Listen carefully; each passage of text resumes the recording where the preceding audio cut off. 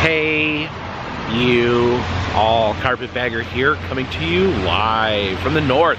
More specifically, we are in Monroe, Michigan. It is a dark and stormy day here in Monroe, which is appropriate because we are standing in front of the Michigan Museum of Horror.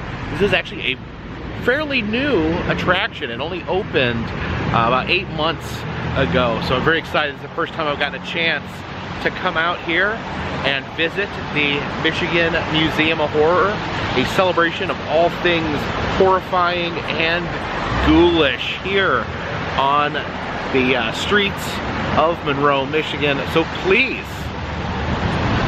follow me.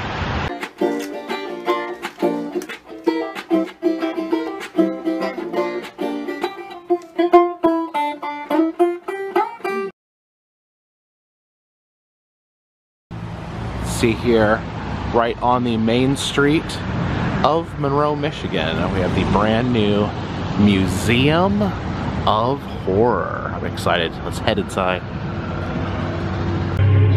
Here we are inside the Michigan Museum of Horror. Check out check out this skull here. All right, so you can actually hold a, a human skull here? Oh my goodness. Yeah, that one's pretty sturdy. Sturdy one? Alright. Look at, that little guy there. Got some little bit of little bit of facial damage. Oh. Thank you so much. See here we have a wicker casket. Now I've heard some different stories uh, that I've heard before that these were wicker so that water could seep in when it's underground and not lift it up out of the ground. But this says here that these are used for uh, for transferring, kind of a temporary casket. So you can put a body in here temporarily. This can be reused. And in, fact, this one actually is, uh, it is used. It says used Victorian era, so see some of the stains and little pieces in there. Oh my god, you even have the the uh, the dead person's uh, pillow there. It says that these could be transferred easily because they're much easier to lift and transport than uh, than a, a, wooden coffin. Oh, look at here, we got ghost face lurking. Oh, can you see who it is? see the eyes there, but I can't tell. Can't tell behind who's behind the mask. Here we have some uh, jars of fun, different animals here. There is a a puppy in there, but it does talk here about uh, that it is a, they, they, they, they put this puppy, a stillborn puppy in a jar, so he was born deceased. They put him in a jar to give him a second chance to exist, says all wet specimens are ethically sourced, meaning they're not just killing animals for the sake of putting them in jars. Down here we have a Ouija board that's been sealed by a witch. You can see the bindings and the wax sealing there. It says this was from a Detroit tavern. They were using the Ouija board. They got spooked by some of the creepy things the board was saying, so they tossed it in the dumpster. They said every day they would toss it in the dumpster and it would show back up in the tavern. So they actually had a witch come and seal the evil spirit inside with the binding there. Different pieces of murderabilia here. You see the Black Dahlia murder site. They have soil from the Black Dahlia murder site as well as some uh, soil from the site of H.H. H. Holmes' murder castle the piece of uh, a robe worn by Aileen Wuornos when she was receiving her last rites before her execution for being a serial killer. Uh, there's some soil from one of these Zodiac shooting sites of the Lost Boys. This is dirt from the Santa Clarita Bridge where they hung off the bridge there. Are you sure about the phone? A little piece of Alcatraz. This is the Alrosa Villa nightclub carpet swatch. That's where uh, Mr. Dimebag Darrell there was killed during a performance. Piece from the cemetery from Night of the Living Dead there. And some remnants from uh, the crimes of Elizabeth Bathory. And oh my gosh, I was not expecting to see this here. This is pretty cool. What we have here is a piece of Mogwai fur. This is a piece of fur from Gremlins 2, which one time after I had my tooth surgery, I went, I went, I posted a video where I went on a painkiller fueled rant about how Gremlins 2 was the best movie, best movie ever. And uh, yeah, there it is. Like, I love absolutely one of my favorite movies of all time, Gremlins and Gremlins 2. An actual little piece of Mogwai fur. You can see it's rolled up in a little ball, like when they would uh, get wet, they would multiply little balls of Mogwai fur would fly off them and then grow into full-size Mogwai. So that's pretty amazing. Some witchcraft items, including a specialty made witch's broom made for a real witch. There's a witch's flail, a witch's item used to actually put curses on people. And this is a 1904 Ouija board. It says that they've actually used this here in the museum and uh, have been able to contact spirits using the board. It's a letter mailed from Charles Manson there. Down here we have some death masks of some horror icons. Of course, Bela Lugosi, he uh, played Count Dracula. Boris Karloff played Frankenstein. And then Vincent Price, just, just one of the most delightfully creepy men that ever lived. Have some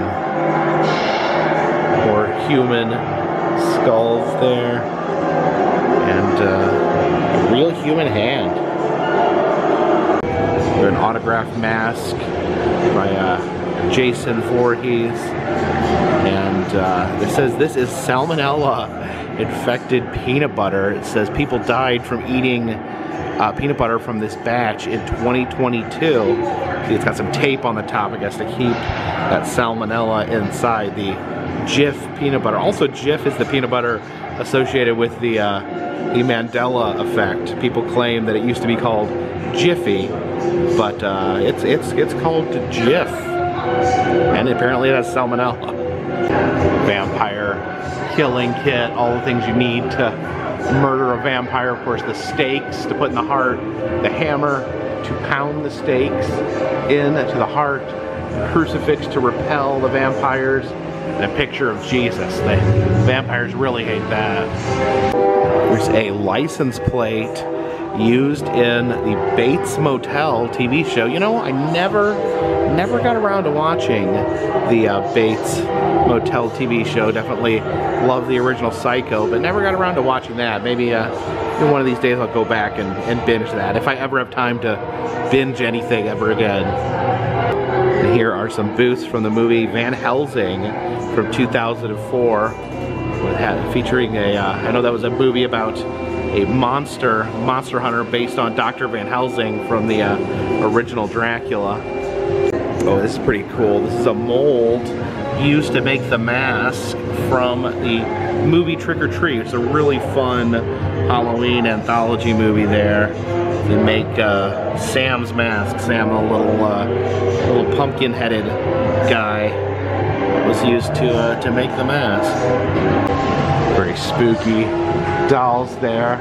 It says Eloise Asylum Cole. Yeah, it says Eloise Asylum was a psychiatric facility in uh, Westland, Michigan. And uh, various teeth there. I always notice this squirrel hanging off the staircase there next to the Creep Show and Salem's Lot poster. Oh, there's one of those cymbal monkeys. I used to I used to think these were literally the scariest thing in the world. I don't know why. They just they just really got to me. It's a horse skull there. Some spooky spooky dolls back there. There is a shirt used in The Walking Dead. I'm not sure what character wore that. But that'd be interesting to go back and try to figure out which character was wearing this shirt. I just noticed the carpet here is the uh, carpet from The Shining. All right, this is the adults only room, 18 plus. So I don't know how much of this I can show you. We got this door covered up by a body bag. So I'll just have to blur stuff out or, cut stuff if it's inappropriate. Oh, it looks like a looks like a murder scene in here. We got Chucky and his, uh, bride there. On the walls here they have different photos from murder scenes. Uh, this is Jack the Ripper right here, his, uh, his victims. Got some very graphic photos here on the wall. Yeah, I probably probably can't show you guys much of this. This is pretty pretty intense stuff. All right, we're gonna head upstairs here. Look at that. It is the, the giant skull. I think that's the skull of a 12 foot tall Home Depot skeleton there. But uh, as we head up, we see the bloody handprints on the wall as we head to the second floor of the Michigan Museum of Horror. Up here was a lot of funerary items up on the second floor. Also see some uh, horror icons there. Got Mr. Freddy Krueger there in his iconic green and red uh, sweater. I, you know, I, he got these horrible burns on his face, and then he wears this sweater. I always just think about like how itchy that must be and how horrible that must be. It must irritate his uh, his burns. You know, you think with burns you'd want some light fabric on top of it to allow your skin to breathe, but he chooses to wear this sweater. I guess that just kind of gives you a view into the uh, the psychotic mind of Freddy Krueger. And here's Mr. Michael Myers. You know, Halloween, the original Halloween, I think one of the best horror movies of all time. One of the, probably the best, you know, quote unquote slasher movies, you know, following the the uh, plot line about uh, a deranged killers, like, uh, stalking people. And uh, yeah, it really amazing. The movie still holds up to this day. You can go back and watch it. But uh, man, he had a rough run of movies in recent times. The uh, that uh, new trilogy, man, that there was some some missteps in there. Like like for instance, like in, in Halloween Kills, how did they? Why did they think that the other guy was Michael Myers, a, a man that was much shorter, had completely different body size, and they had actually seen the real Michael Myers without a mask on TV, but somehow mistook a, a different man that looked nothing like him for Michael Myers. And then and then the, the, the, third movie, Halloween Ends, like Michael Myers was, was hardly even in it. They kind of tried something new. They tried uh, tried a plot where there was like a new Michael Myers, which which which would have been okay, but then uh, in, in the end, it, it just they just kind of killed that plot off and just had Michael Myers fight Laurie Strode. So probably not a good way to end a trilogy. You know, I'm all for creativity, but um, it's just a weird way to end, you know, a trilogy where you've been building up to a showdown, and then instead of that, you focus most of the movie on a completely new character who just gets like killed at, at, unceremoniously near the end of the movie. It's uh, some, some, odd choices, some odd choices. A lot of people say they like the first new one. Ah, it was okay. It was, it was, uh, you know, it was, uh, it was okay. And uh, they, uh, they, they, they, they, they forgot, they, they, they, they, they redid, redid the continuity. They made it so Laurie Strode wasn't his sister, which I understand why they did that. It's just, um, you know, just interesting to, to play with long held continuity like that. That's another thing. Michael Myers, there's so much, like trying to track the continuity of the movies is nearly impossible. There's like, I think, I think at least, there's at least three different lines of continuity breaking off from the uh, the first movie. Plus, you got the Rob Zombie movies. So yeah, it's it's it's it's it's all a huge horrible mess. And I say, just go back and watch the original. It's it's good. And watch the second one too. The second one's pretty good as well.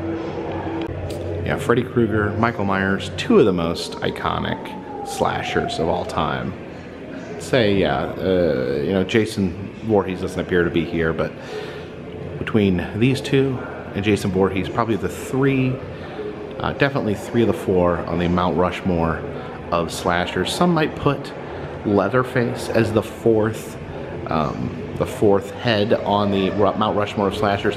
Although I don't necessarily consider Texas Chainsaw to be a slasher movie. I consider it to be a different type of movie. In fact, when they made that that newest uh, Texas Chainsaw Massacre movie, they kind of missed the entire point, in my opinion. It just turned him into a generic slasher when that's not really what the uh, the original. That wasn't really the, the vibe of the original Texas Chainsaw Massacre. But anyway, I'm talking a lot about Leatherface. He's not even here. Jason's not here. These two are here.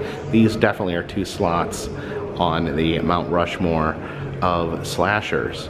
But uh, here is the new kid on the block, the newest um, slasher icon.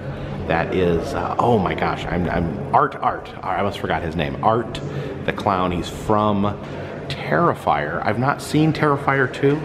It's supposedly one of the most gory, disturbing movies of, uh, of, of, all time. I did watch part of the first one. It, it was a little, uh, I'm just gonna tell you. I, I, know I know a lot of people out there, a lot of my friends, a lot of people, uh, my acquaintances do, do like this movie, uh, these, the, these movies. And I think this guy here, he, he, he does a good job. The, the, the character itself is super creepy. He doesn't talk. He like moves like a mime, but uh, man, the gore, the gore, and, and, you know, I have, I have friends that work in the gore industry that make movies that make gore, but it was a little much. It was a little much for me. Um, you know, there was there was a lot of blood, a lot of cutting and guts. Yeah, he just carries this. This part of another thing that makes him disturbing. He just carries just a bag of horrible weapons that he uh, uses to torture people. He has all his torture implements in there. I think it actually, at some point, he actually just uses a gun. Like, and would, you know, it's kind of interesting because it doesn't necessarily follow the rules of the slasher. These guys are here, these guys would never, ever use a gun. Almost no slasher would ever use a gun except for Art the Clown here. But uh, yeah, I don't know, the first movie, I, for one, I thought the poop scene was a bit much. It's like a scene where he smears poop everywhere. And uh, I don't know, that's, to me, that's, as far as gore goes, that's almost worse. You know, I, I, I, didn't necessarily sign up to see a clown play with, uh, with turds, but uh, yeah, it was it was intense. It was intense. You know, just not my cup of tea. Not my cup of tea. There's, you know, a certain level of violence that um, I just kind of tune out towards. Um, I, I, don't necessarily find violence that scary. In fact, Michael Myers, he, um, in the first Halloween movie, there was hardly any blood. It was all like implied. And a lot of times I think that's scarier, the implication of horror, the implication of what might happen rather than the, the explicit and visceral showing of murder and carnage. But if you do like the explicit showing of murder, carnage, blood, and poop, I think maybe uh, maybe Art's your guy. I don't know. I, have thought about giving Terrifier 2 a chance just because it has such a uh, such a crazy reputation. I don't know. When, when Halloween comes, I'll uh, I'll reconsider it. Let me know in the comments section. Should I check out Terrifier 2? It's like up there we've got a uh, a hair wreath a lot of times when people would die, they would take their hair, turn them into wreaths. back in Victorian times, make these beautiful wreaths completely out of hair. Over here, these are child casket shipping crates. Again, I, I, they're not. Well, I don't. I, am not sure. Is this uh, is this a shipping crate used to ship child caskets? Or is this a shipping crate that has been recycled into a child's casket?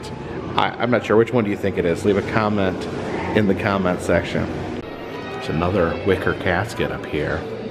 And like I mentioned, downstairs. I think you know there's a lot of uses for for a wicker casket. Um, it talks about how you can use them to transport bodies easily, so you don't have to lug it like a like a full-sized heavy casket. But also, as I mentioned, you put it underground in, in a place with a high water table, and you don't have to worry about the coffin popping up out of the ground because the water will just seep in to the wicker coffin. Also, great for burials at sea. You toss this overboard in the ocean, and it'll sink to the bottom. You toss a normal airtight coffin over, it'll just float around like some unholy boat for the rest of eternity. Some funeral memorabilia in here. These are like programs from funerals.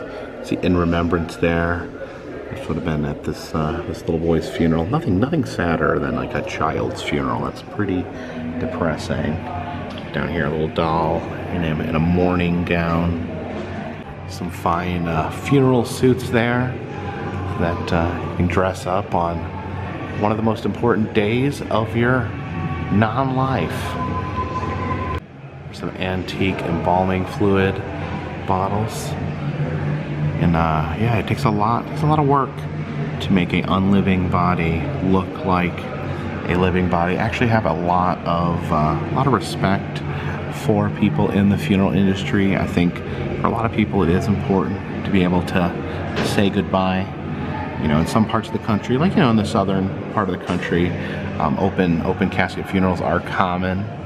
So uh, I think it, it, it does a lot to be able to say goodbye, to see the person for one more time. You know, not be able to see them as a person, but but, but to just see that they are at rest. And um, you know, it's very helpful if the body, you know, does look like it did in life. You see different things there, like jaundice control, cavity embalming fluid. Yeah, a lot of work goes into that. There is some flesh spray that's neutral, neutral flesh. Some more, I guess, spray on cosmetic there. Some embalming table there used during the embalming process. And uh, oh these signs that would you'd put out during a funeral to keep people from uh, parking. You know, you need a, a, lot of people coming to the cemetery. You need uh, need ample parking. And uh, these are actually for sale. These funeral signs here. It says ten hundred dollars for the uh, the uh, no parking funeral sign. I guess these items are all for sale, including the uh, little baby doll there. But you got casket keys. Okay, I guess this is like for locking a casket. Why do you need to lock a casket? I mean, is the person inside, are they, are they, are they coming out? But uh, probably more so to keep uh, grave robbers out of the casket. But, uh, oh yeah, they have some uh, different embalming fluids for sale here. High viscosity. Hmm. Are these what I think they are? Are these urns? Is there human remains inside there? It's uh, 25, 30 pieces. I'm not 100% sure what these are, but I think they might be urns. If you know what these are, leave a comment in the comment section. Over here, you have this really cool hat. Is this a, is this what you call a fez? A fez hat? I think this is, uh, oh, what is the secret, uh, secret, the Shriner. It's a Shriner hat. I don't know if, I don't know. I uh, would consider trying out a new hat, but I, that might be considered uh, cultural appropriation. Yeah, here's some of these, these tubes that would be used to be inserted inside people uh, to help fill their body with new chemicals. Now that is a child casket right there, and I don't see a price tag on that. I don't know that that is for sale. More items back here. These are just uh, pictures, vintage pictures. I used to collect vintage pictures back in the back in the day. I loved loved getting pictures of uh, of people I didn't know. It's always I think they just I don't know when you don't know the context, it almost tells more stories. There was one time where um, my ex, uh, Christy, bought me a uh, an album. It was a, a family photo album, and it was it was such fascinating. The lady it was lady that made the album was named Pauline Smeltzer, and um, she uh, just had an interesting, such interesting photography. And eventually, I was able to return the album to its uh, to the family, which was pretty pretty rewarding. These are casket photos. So literally, okay, literally photos of caskets there. I guess this would be like, um, you know, the funeral director selling the caskets would have these pictures. Let you try to see what caskets they had. Help you pick out something nice for your loved one. Yeah, if I really wanted to start my own funeral home, this would be a good place to start. All this great stuff is for sale. Also, they have a, some sort of duck, some sort of duck up here. I don't know who Alan Hale is, but uh, there's his gravestone for sale here for uh, for fifty dollars. It's another embalming table here. You have these fans. So I think church church fans. They give these out during a church service so you can fan yourself. It's another Walking Dead shirt. This is a blue long sleeve shirt. And then have some uh, some coffin nails here. So these were used in The Walking Dead. It says season five, episode eight. Carl uh, nails a church door shut using these coffin nails to help keep the zombies out. And over here they do have just a beautiful view of Main Street from up here on top of the Horror Museum and look down the other shops on Main Street. Oh, look at that. How appropriate. just a hearse. A hearse just drove by. oh, that couldn't have been more perfect. This is like a little miniature vault here. It's a vault sample. Just show people what the burial vaults look like without having to bring out a full-sized vault. Is a Thai spirit house. It says shrine dedicated to the protective spirit of the building or home. So offerings are left to appease the guardians and to keep them from causing harm. So people leaving quarters and uh, dollars. And someone even left a skeleton key there, I guess, to help the spirits protect the uh, Michigan Museum of Horror. It looks like here we have a fortune telling room. You can see all the, all the fortune telling tools in here. Uh, definitely smells, you can smell the, uh, the incense, definitely smells like a fortune telling room in here. Some tarot cards there hanging in the window.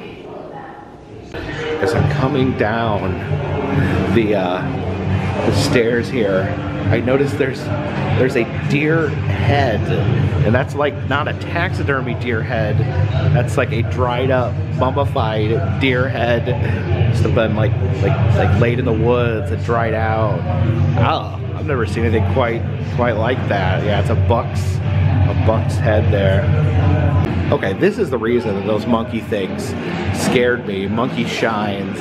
Now I remember seeing this. Uh, my my dad's girlfriend at the time uh, when I was growing up, she had this book on her bookshelf, and um, I, I, was just terrified. I couldn't even stand to be in the same room and, and, see this book.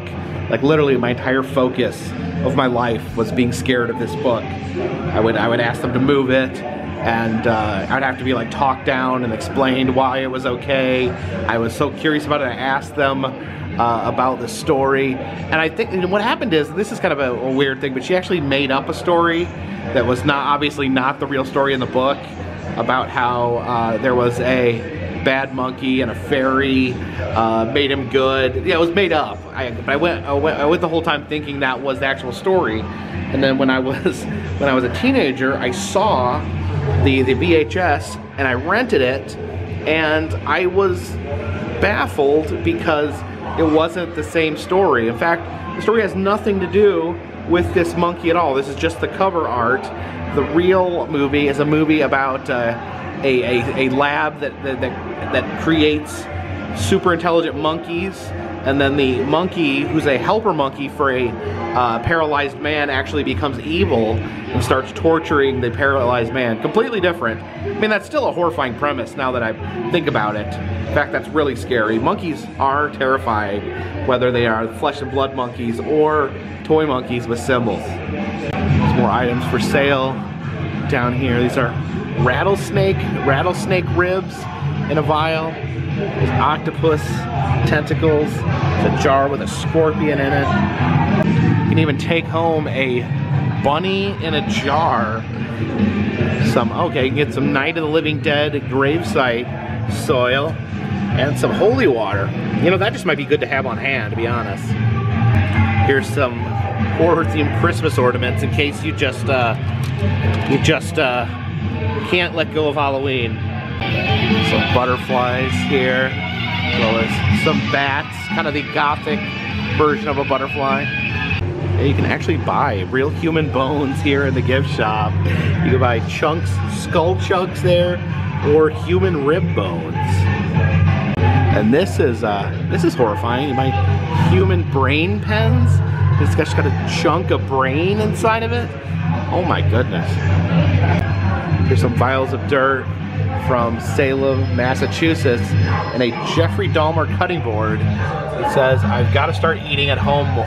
oh my gosh. That's actually a real quote, a real quote that he, uh, he made. Uh, different stickers to choose from, different uh, horror themed stickers. And there we got a, one of the critters from uh, Critters. I've taken to collecting pins for my hat. I've uh, never got into the, the patches, mostly because uh, I don't know how to attach them to things, and I'm afraid, uh, I'm embarrassed to ask anyone.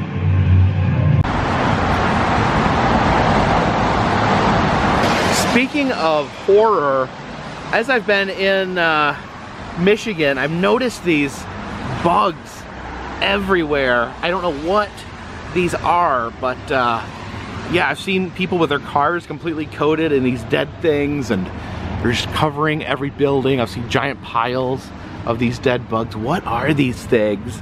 And uh, why are they here? Does anyone know what kind of uh, insect these are infesting the poor state of Michigan? Yeah, I just, I'm having trouble getting over it. Look at these, look at these things. Look up there at that street light that's just completely covered in whatever these are. I, I, I, this is unpleasant. So thank you for joining me here today in Monroe, Michigan to check out the Michigan Museum of Horror. I talked to the uh, the owner. He said he's, he's kind of in the process of renovating, looking at new things to bring into the museum. Since he's doing some events as well, going to be doing a um, a wrestling event here in the upcoming weeks, which sounds pretty uh, pretty fun. But uh, thank you guys so much for coming along with me. Uh, if you like these videos, please subscribe. I travel around the country. I film roadside attractions, amusement parks, museums, haunted houses, and other fun stuff. If uh, you'd like to help contribute to the channel, consider contributing to Patreon. $3 or more will get you a postcard once a month from me to you. Also selling enamel pins in the Etsy shop, including four new Carpetbagger Cryptid monster faces. You can buy all four for a discounted price or just pick out one that you really like. And uh, also doing Cameo, doing personalized messages, uh, birthday messages, anniversary messages, uh, just for fun messages. And uh, if you're interested in that, just check that out in the description. And of course, all that helps keep this train on the track, this boat in the water, and this dirigible in the air. Until next time, my friends, this one's in the bag.